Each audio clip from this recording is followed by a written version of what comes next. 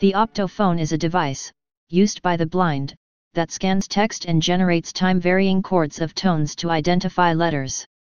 It is one of the earliest known applications of sonification. Dr. Edmund Fournier d'Albe of Birmingham University invented the optophone in 1913, which used selenium photosensors to detect black print and convert it into an audible output which could be interpreted by a blind person. Barr and Stroud participated in improving the resolution and usability of the instrument.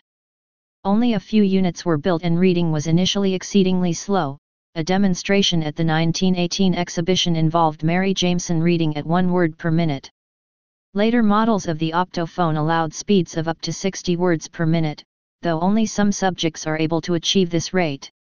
Please subscribe and thanks for watching.